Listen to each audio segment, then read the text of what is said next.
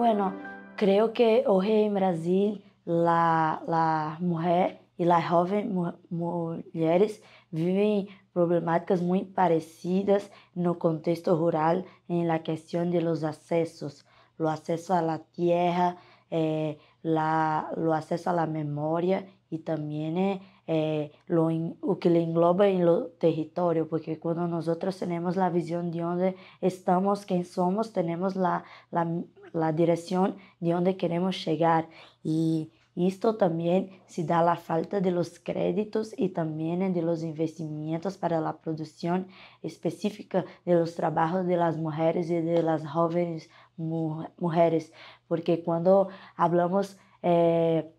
de, de lo trabajo de las mujeres es como algo de ayuda, es de la cuestión de los cuidados con la familia, con los cuidados con, con, con todos, mas não é visto como um trabalho, não é visto de uma maneira que, que, que é por igual, mas também importante para o desenvolvimento da agricultura, para o cuidado com as famílias. Temos a questão de la assistência técnica, que era um gargalo muito grande e creio que isto eh, também eh, traz a experiência que temos em Brasil com lo, com Loica, em que a assistência técnica é algo muito muito muito duro ainda e que não se chega eh, em las mulheres, em la juventude, por achar que estas questões es apenas de los chefes de la familia, de los varones. Y ahora en lo MDA lanzamos un edital específico para las mujeres, donde es, es mucha, mucha plata para investir especificamente en la asistencia técnica para las mujeres, que son las grandes chefes de familia eh, el campo y también en la ciudad.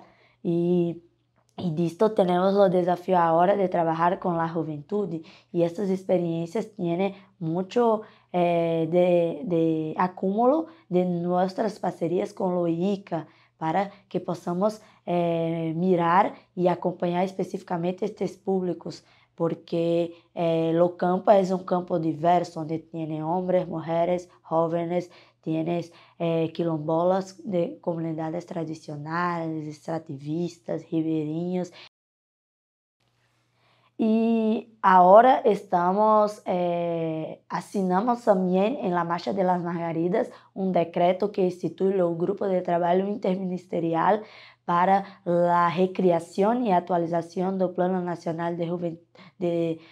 Juventud y Sucesión Rural. Este plano tiene cinco eixos estratégicos para la permanencia de la juventud en el campo, como también na perspectiva de lo avanço de las jóvenes mujeres que eh, hoje em Brasil o campo é um campo muito masculinizado e também é um campo que está se esvaziando e se envelhecendo. Então, o Plano Nacional de Sucessão Rural é uma estratégia para isso e em seus cinco eixos temos terra e território, trabalho e renda, é, qualidade de vida e também é, é democracia, educação do campo, democracia, participação e diversidade, onde temos que trabalhar é, com todas essas possibilidades para termos um campo digno para nossas juventudes.